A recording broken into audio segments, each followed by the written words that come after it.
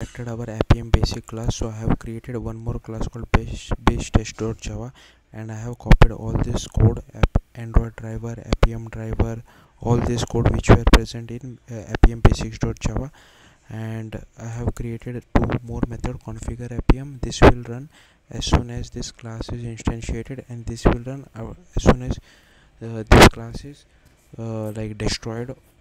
So okay so here this same code i have taken it from uh, appium basics. The only thing is i have created two global variables uh, like driver appium driver and appium driver local service.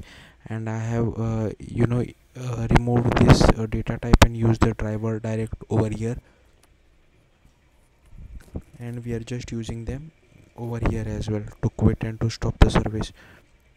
Now in appium basics if you go you just have to extend the base class and here you can just write uh, this code of clicking on the preference.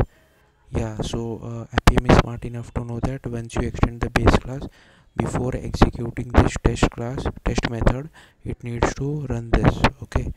And once the test uh, function is executed it will run this. So yeah that's it. Thank you for watching. Bye